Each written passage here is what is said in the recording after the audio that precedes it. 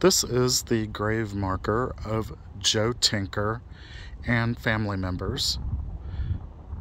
Tinker was a famous Chicago Cubs and Cincinnati Reds baseball player.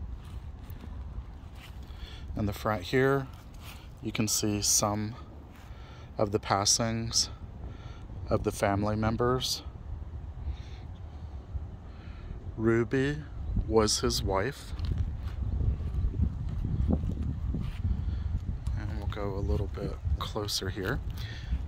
This particular grave marker is in the city of Orlando in Florida at Greenwood Cemetery. On the front, some have left offerings of baseballs.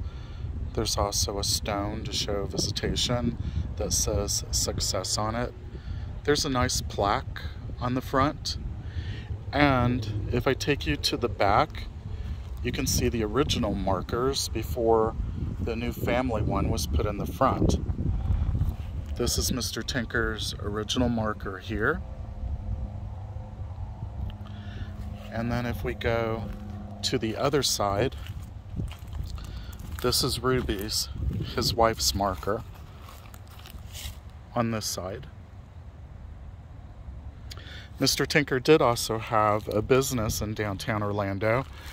It was a real estate company down on Pine Street.